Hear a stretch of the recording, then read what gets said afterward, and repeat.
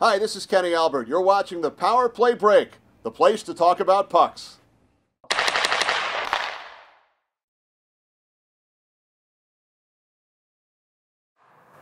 Back here with Alana Blahoski from the 1998 Winter Olympic hockey team, gold medalist. Okay, we're going to have some fun now. And uh, I understand you're a vegetarian.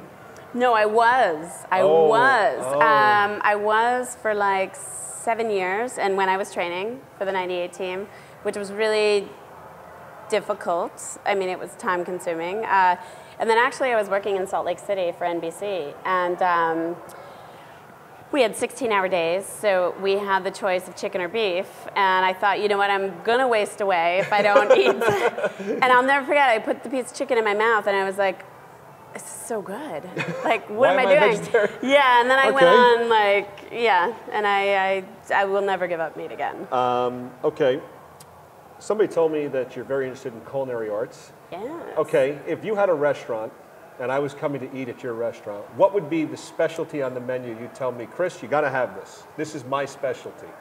Well, you know what? I love to make all sorts of different things. I, I love uh, lamb. I really love to do lamb. Uh, I made a rabbit the other day for the first time, like a roasted rabbit. It was unbelievable. Really, you know, delicate meat, really tasty. Um, so yeah, I mean, it would be some sort of meat specialty. Um, I'm really good at like making chimichurri sauce uh, with a flank steak, grilled flank steak. Would you have a nickname for this restaurant? You haven't even thought that far ahead. No, I haven't No? even thought that far ahead. Um, somebody also told me that you inspired at one time to be an actress. I did at one time, yeah. Okay. At one time. If you were to have your life story told, who do you think right now in Hollywood could play you because of the physical aspect of the role? They'd have to do with the hockey and, and all the other aspects of it. Wow, I don't. That's interesting. I don't know. I mean, right away I would think like a Sandra Bullock because she seems very like fit and like maybe she has some skating experience. um, but I don't know that any other Hollywood uh, actors, uh, female actors, would have um, any sort of experience. If you didn't take up hockey, what would you have done? It's a good question. I, I, you know, I don't know. I thought for a time I wanted to be an environmental lawyer. Um, and then I got picked for jury duty and, and felt really bad for, for the defendant and, uh, and decided, you know what, I'm not tough enough for that. Uh, and I, I don't know. I mean, I, I think I probably would have followed more of a creative path, like whether it be acting or, uh, or writing, uh, you know, to put my time into that type of thing. Okay, this comes from my daughter. If you had one superpower in the world, what would it be and how would you use it?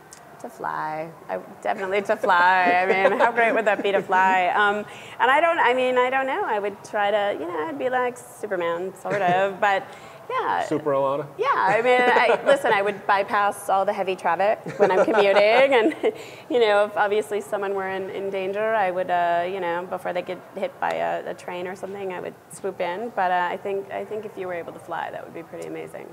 Favorite athlete of all time or hero outside of sports? Wow. I would have to say, favorite athlete of all time, I, I was a huge fan of Pat LaFontaine, like growing up. No, even more so Neal Broten. Okay. Neal Broten. I had a little Broten shrine when I was a kid, and I made these hair braids that were like green and gold, Minnesota North Star colors, and Somebody outside of sports that you admire?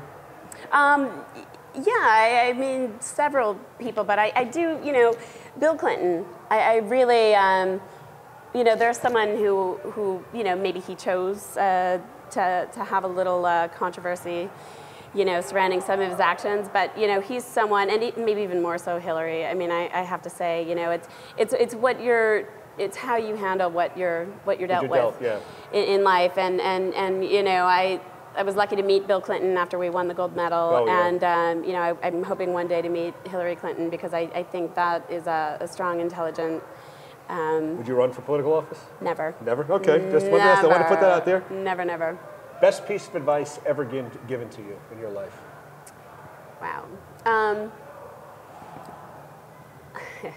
well, it, it, it's something I, I discovered. Uh, I was reading this book, and it said, you know, it was all about like, uh, you know, gravitational force and like you know bringing things to you um, and, and it, it spoke about how you should already see yourself uh, see yourself where you want to be and, and, and tell yourself you know tell yourself of, of, of who you want to become now so i wrote on a, a little card i said uh, i am an olympian and i hung it on my mirror when i was training and every morning i would say it out loud so i could hear it and obviously share it with the universe and, um, and i would say it every night and, uh, and, and it's, it's true, when you hear yourself say things out loud, they start to become your, your truth, your Yeah. reality.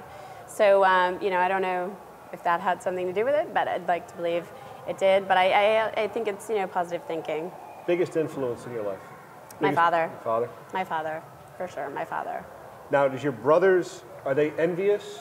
Or are they, are they like, oh wow, Alana, we're really proud of you, you won the gold medal? I have like the best brothers. Um, they never call me. They never call me to see how I am. But you know, I don't think they were ever jealous. I think they were just very proud. I think they were very proud. Um, Are they now known as Alana Blahoski's brother and not as their own person because of what you've accomplished? yeah, yeah. I, you know, for for for hockey and in, Yeah. in that sort of world, yeah. You know. Um, but uh, but they were you know they were always supportive, like really always supportive. I never had to. Uh, to have them uh, tell me that I couldn't do it because I was a girl. They just, they, I did it and they did it with me and it was never this, this thing.